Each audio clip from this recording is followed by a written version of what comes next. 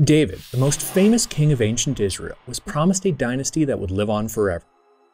His son Solomon succeeded him and extended the boundaries of the great nation. However, upon Solomon's death, the nation was divided in two. Only two tribes remained loyal to the Davidic line, which continued to rule from Jerusalem for centuries, until the great city fell to the Babylonians in 586 BC. The heir to David's throne, Zedekiah, was taken captive and his sons were killed before his very eyes. When Zedekiah later died in captivity, it appeared as though this promise had run its course and the Davidic dynasty had come to an end.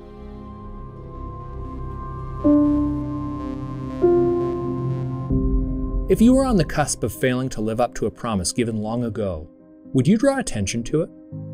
Only a short time before Zedekiah was taken captive, the ancient scholar Jeremiah records this promise For thus says the Lord, David shall never lack a man to sit on the throne of the house of Israel. Jerusalem's fall to Babylon left the region in a turbulent state. Jeremiah had been in prison for his proclamations of Jerusalem's coming destruction the Babylonians gave control of the region to Gedaliah, making him governor. He not only released Jeremiah from prison, but also presented him with provisions and what was likely a monetary gift. Jeremiah continued to live in the region until a man named Ishmael led an insurrection, killing Gedaliah. Johanan, who had served under Gedaliah and had even warned him of Ishmael's coming treachery, then gathered the remnants of the military together in an effort to restore order. They forced Ishmael to flee, but were still worried that the Babylonians would seek retribution for the death of the man they had left in charge, Gedaliah. Because of this fear, Johanan led a band of survivors to Egypt, out of the reach of the Babylonian army. A partial listing of those taken to Egypt was recorded by Jeremiah. They include Jeremiah and his assistant, a man named Baruch.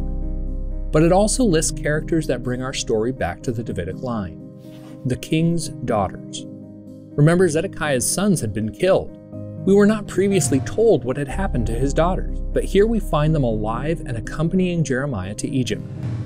It is important to note that Israelite law at the time did include a provision for inheritance, such as the throne, to pass through daughters if the previous holder did not have any sons. Now is when it's helpful to glean a little more information on this man, Jeremiah. His writings open with the inclusion of a commission which he wholeheartedly viewed as being given to him by God. See, I have this day set you over the nations and over the kingdoms, to root out and to pull down, to destroy and to throw down, to build and to plant. Most of our records for Jeremiah's career show him delivering a powerful message of warning to a nation on the brink of collapse. The meaning of his commission, to root out and pull down, to destroy and throw down, is fairly clear. While he would not be doing the destruction himself, he bore witness to the destruction of the city of Jerusalem and the fall of the house of Judah. More curious, however, is the final item mentioned.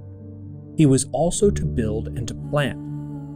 One logical interpretation of this commission connects it with the promise that was re emphasized shortly before the fall of Jerusalem and the death of Zedekiah that David would never lack a man to sit on the throne of Israel. The wording of this is worth examining. The northern portion, called the House of Israel, had been taken captive nearly 200 years beforehand, around 722 BC.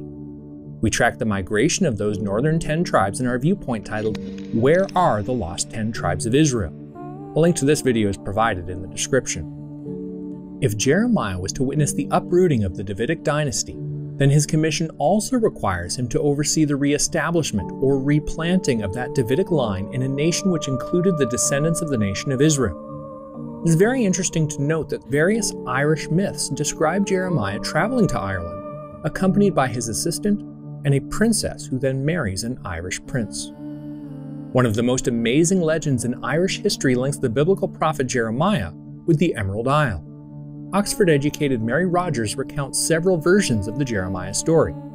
Each version tells of Jeremiah fleeing from Jerusalem at the time of the Babylonian conquest. One account makes Jeremiah flee to Ireland with Tehaphneht, eldest daughter of Zedekiah. Other accounts have Jeremiah and the princess or princesses and a man named Barak or Baruch leaving Egypt for the Isles of the West.